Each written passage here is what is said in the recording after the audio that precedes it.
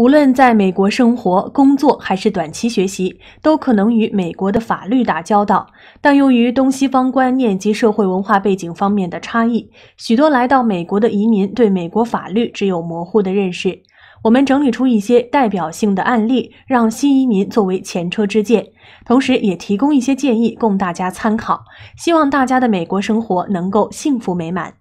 大家好，欢迎收看美国法律微课堂。本节目将在 YouTube 洛杉矶华人资讯网号视频频道首发，美西时间每天晚上十点上线，欢迎大家准时收看。父母责任及学生的权利。许多新移民举家到美国，目的是为了自己的下一代有一个好的成长环境及发展空间。美国社会认为，十八岁以下的青少年仍没有自我保护的能力。因而，透过法律来保障青少年有一个良好的成长环境，同时也赋予家长很大的责任。一般而言，父母的责任分为两大类：一是养育责任，另一是管教责任。父母两方或继父母双方都有这些责任。养育责任是指父母必须向未成年子女提供生存的必需品，除食物、衣服、住屋外，还必须承担他们的医疗、教育及必要的法律援助。不管父母与子女的关系是来自正常的婚姻，或者是没有。婚姻的关系，父母都要承担此责任。至于具体的养育费及养育程度，法律并没有明文规定。如果在婚姻案件中，法官可能会根据父母的经济状况及小孩的需要而规定出每月的抚养费。如果子女满十八岁或十九岁，但仍在高中上全天的课，父母仍要履行抚养费。假如父母向子女所提供的抚养未达到最低生活必需的标准，父母很可能被指控虐待小孩或忽略小孩，而被政府提出公诉。政府的儿童保护局也可以以此来将小孩从父母手中带走，交给政府部门指定的家庭抚养。第二类责任是管教责任，父母必须采取适当的措施来监督。及管制他们的子女。假如父母怂恿或放任子女犯法，父母将会触犯刑法。如果父母知道子女有不当行为的趋向而不理会，父母必须为这些不当行为的后果承担责任。此外，法律还规定某些行为非常危险，父母必须管教子女。否则，父母要为自己的失职负责。例如，如果小孩使用枪械伤人，父母必须向受害人赔偿；如果小孩故意伤人，父母必须向受害者支付医药费、住院费等；如果小孩毁坏他人财产，父母必须向受害者支付子女无力赔偿的部分；如果小孩在商店偷东西或从图书馆偷书，父母每次最高可被罚一千元；如果小孩违反宵禁规定，父母可被罚交运载费用等。本人处理青少年犯罪案件二十多年来，接触到无数宗华裔学生触犯刑事的案件。大部分的青少年犯罪行为都从学校开始，很多新移民学生没有办法适应新的环境，或者觉得老师或同学有歧视的行为，自己没有得到公平的对待，在气愤的时候威胁老师或同学，或用电子邮件来恐吓老师，以发泄心中的不满。还有的学生购买一些枪械、刀具放在随身带的背包里，一方面是给自己壮胆，另一方面也可能是不小心带到学校而被学校保安人员查获。一般的民众在被警察拦截时，警察在有合理怀疑理由的情况下，才可以对民众或车辆进行搜查。但是学校的校长或其他人员并不需要太多的理由，就可以对学生的书包等随身物品进行搜查。一旦发现有枪、刀，甚至玩具枪，都会被没收。一旦学校发现学生威胁老师或同学，或携带武器进入学校这两种违法犯罪行为，可以采取两种措施：第一，要求违法的学生停课，并开听证会，给学生一个解释的机会，由学。学校的听证委员会决定是否将学生开除。学校的听证委员会由学生代表、家长代表、老师代表及学校的主管组成。大部分情况下，只要校方提出开除学生的建议，都会在听证会上获得通过。被开除的学生很少会被其他公立学校继续接收，所居住的学区有责任替被开除的学生安排学校。一般来说，学区只能将被开除的学生安排到另类学校。与其说是惩罚，倒不如说是奖赏，因为这种另类学校往往对上课没有严格的要求，每周上课只有几个小时左右。结束在另类学校的一年多的学习后，表现良好被。开除的学生有可能回到原来的学校。如果真的出现了被开除的情况，应该进行咨询，可以用变通的方法转入私立学校，或去社区学院修课读。或自学直接考取高中毕业文凭。由于学校实行的政策是零容忍，因此学生任何涉及到危害校园安全的行为，都会导致被校方开除的命运。第二，校方同时会打电话叫警察到校园，把违法的学生交给青少年法庭处理，由法官进行刑事方面的惩罚。我们来看下一个案例。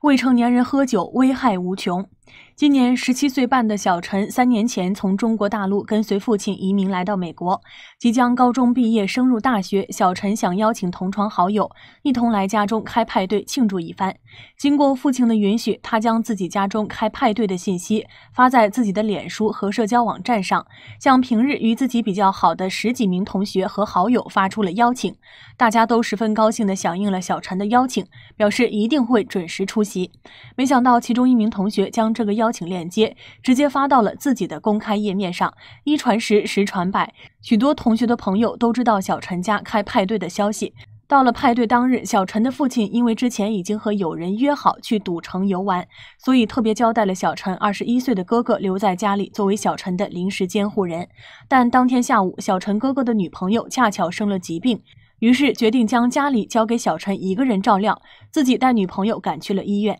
当晚派对如期举行，令小陈出乎意料的是。本来预计只有十几名同学参加的小聚会，因为网络的传播效用，一下子成为了三十几名同学造访的大派对。小陈家里热闹异常，有的同学带来了很多美食和饮料，还有的同学甚至带来了酒，邀请大家一同品尝。第一次喝酒的小陈非常开心和激动，不仅从父亲的藏酒柜中偷偷拿出一瓶烈酒和大家分享，还邀请几名好朋友进到父亲在家中专门用于办公的房间，拿出父亲的手枪和子弹。让大家把玩，酒精的作用已经让几名青年人情绪亢奋。武器的登场更是让大家激动兴奋。其中一名青年人因为曾经多次跟随父亲外出打猎，于是很是得意地向大家展示如何给手枪上膛。小陈平日里就喜欢开玩笑，从客厅取酒回来的他想到父亲的手枪一直都是未上膛的，便拿起手枪朝同学小苏对准按了下去。还没等大家反应过来上前制止小陈，只听“砰”的一声，小苏的脚鲜血横流。完全不知情的小陈脑中立刻。嗡的一声，整个人呆若木鸡，傻了眼。邻居听到枪声，立刻报了警。及时赶来的警察连忙将受伤的小苏送往了医院，随即逮捕了小陈等几个酩酊大醉的未成年人。小陈父亲接到警察的通知，急忙从赌城赶回了警局。除小陈因为使用手枪伤到同学而被逮捕外，小陈的父亲因涉嫌向未成年人售酒以及危害儿童安全罪而被逮捕。如果这些罪名成立，小陈父亲可能因此而被判一年半至三年的劳刑。下面我们来听听邓红律师对此案的分析。在加利福尼亚州，虽然依据法律规定，十八岁就可以算作成人，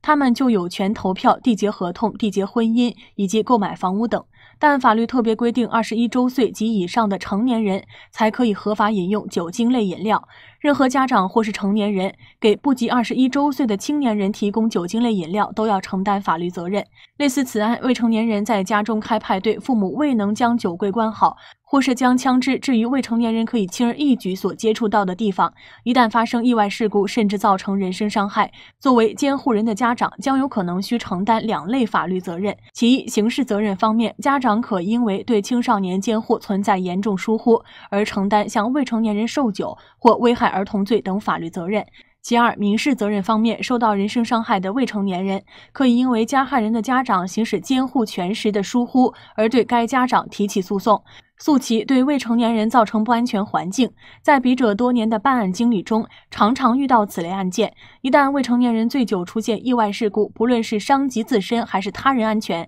都会引起家长及监护人相关联责任。加州法规对未成年人喝酒的行为管理特别严格，例如在酒后驾车的案件中，常有人误以为只有酒测达到百分之零点零八才算醉酒驾车，其实只有对于二十一岁以上的成年人酒测的标准是百分之零。零点零八，对于二十一岁以下的人，酒精测量的标准是百分之零点零一。对于不满二十一周岁的人酒后驾车，不仅会被罚款和上交通法规学习班，还会被吊销一年以上的驾照，并可能被判最少四个小时、最多六个月的劳刑。我们可以从此案得到的教训是：未成年人最初饮酒多，因为好奇或是受到周围同伴的不良影响。较成年人更易上瘾。未成年人一旦沾染嗜酒的恶习，常常会花费很多金钱用于购买酒精饮料。有的未成年人为了筹到买酒钱，会编造各种理由来欺骗父母，甚至参与违法活动，最终毁掉自己的前途。作为家长，应当以身作则，自己不嗜酒，也不要在未成年人面前大肆饮酒，以免未成年人效仿。同时，应当教育孩子，嗜酒是一种恶习，在任何社交场合都正确引导孩子适量饮酒，并严格禁止孩子酒后驾驶。我们来看下一个案例：帮忙买酒，好心帮忙反而惹麻烦。马先生是一名在美国工作了十几年的导游，他为人热情，非常乐于助人，常常得到游客们的称赞。一天，马先生来到蒙特利公园市的一家超级市场购买日用商品。在超级市场门口，他发现有两名大约十几岁的白人青少年在超级市场门前徘徊，看似像是在寻求帮助。于是，一向喜欢帮忙的马先生便上前去打招呼询问。一阵寒暄过后，其中一名白人小孩子对马先生道出了他们徘徊的缘由：原来，他们的一个好朋友要在家里举办生日派对，他们想买一整箱啤酒为朋友庆生。但是由于他们二人均未满二十一周岁，所以超市根据法律规定拒绝卖酒给他们。两人商量了一下，决定在超市门口找人帮忙买酒。马先生也曾经年轻过，他记起自己读高中的时候，也喜欢和朋友们一起开派对玩耍。那时的他虽然也还未达到法定的可以饮酒的年龄，但每次派对总有年长的朋友带来酒。大家在一起喝酒嬉闹，也从未出过什么大问题。于是，极其热心的马先生决定帮这个忙。他爽快地答应了两个孩子，从他们手中接过一张二十元的纸币，便径直走入了超级市场。没过一会儿，马先生便用购物车推着一箱低度啤酒，笑脸相迎地走了出来。正当他刚把买来的啤酒和找给的零钱一同交给两个小孩子的时候，不知从哪个角落里忽然走过来四名探员，声称马先生涉嫌向未成年人。提供酒类产品的非法行为，立刻将马先生逮捕，并带回警察局打了指模。若罪名成立，马先生将面临最高六个月的牢刑，并处罚金一千元。下面我们来听听邓红律师对此案的分析。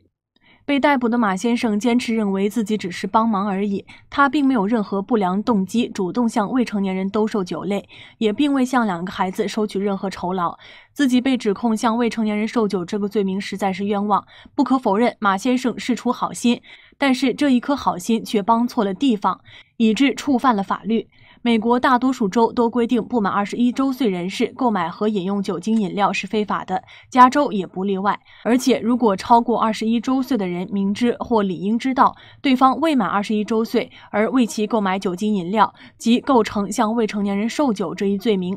加州法律对该罪名并无特定的犯罪动机，诸如存在不良动机或获取酬劳等。所以，该罪的构成在一定程度上属于法律上的严格责任。需要特别指出的是，加州酒管局的执法人员常常采用钓鱼执法的方式来试探和检查商家或其他个人是否违反法律规定向未成年人出售酒精饮料。本案中的两个未满二十一周岁的小孩子，实则就是酒管局派来的卧底。热心肠的马先生一不小心即中计违法。最近几年，由于网络的传播作用日益发达，很多未满二十一周岁的年轻人都会在各大论坛或社交网站评论，在哪里会较为容易买到酒，常常是一言既出，引得众人蜂拥而至。实际上，这些传言和评论早已成为探员们的主要线索来源之一。他们会着重在这些店家附近布下埋伏。利用卧底故意引诱店家向未满二十一周岁的年轻人出售酒精饮料，并以此获得有力证据，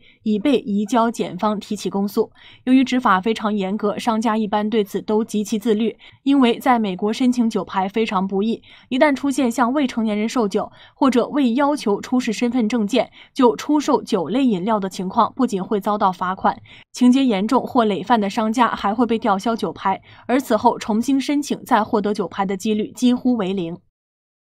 我们可以从此案得到的教训是：一张酒牌来之不易，在某些经济较为发达的地区，一张酒牌的价值可能高达十万美金。作为酒类商店的老板或店员，应当特别小心。有些未满二十一周岁的年轻人，常常为了买酒而持假 ID 或证件，或买酒时行为怪异、躲躲闪闪，都应当严格检查证件并验证真假，以免进入执法人员布下的圈套而中计。you